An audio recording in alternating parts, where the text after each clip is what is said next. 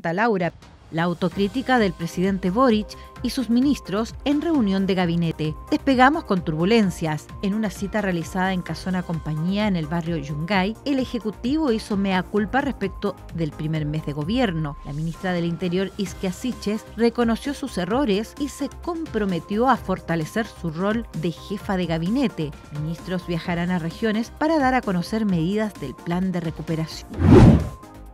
Marcel advierte a parlamentarios que quinto retiro previsional elevaría la inflación en cinco puntos. El ministro de Hacienda reitera su oposición a esta iniciativa y espera que los congresistas logren entender los riesgos a los que estamos exponiendo al país y al propio programa del presidente Boric. También aborda incertidumbre económica por la nueva constitución.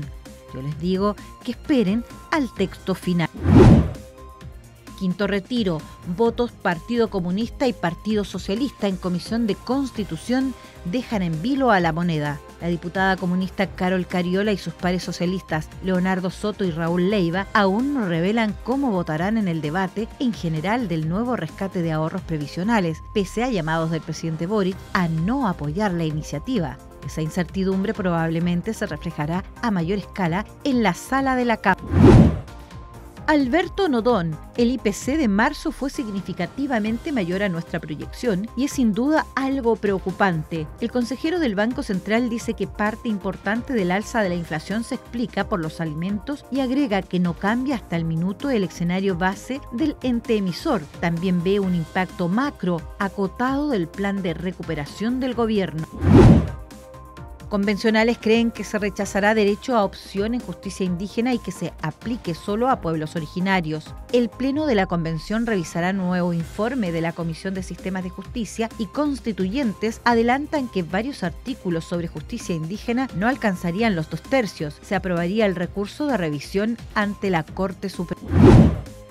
Convención, los principales artículos aprobados en salud y educación que llegan al Pleno. La Comisión de Derechos Fundamentales avanzó la semana pasada en el debate de los artículos relacionados con estas materias. Entre otras cosas, se propone un sistema nacional de salud y se reconoce la libertad de enseñanza y de los padres a la hora de elegir.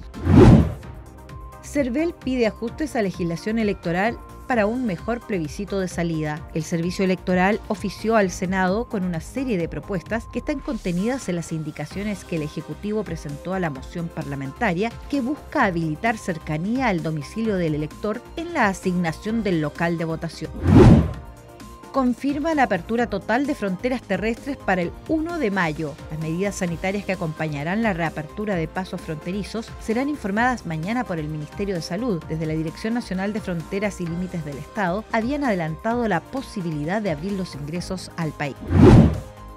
Unión Española vence a Colo Colo y lo acompaña en la cima. El cacique empezó ganando en Santa Laura, pero el cuadro hispano remontó en el segundo tiempo y venció 2-1. En otros partidos, Audax ganó 1-0 a Cobresal, Palestino y Ñublense empataron 1-1 y La Calera igualó sin goles con Cuy.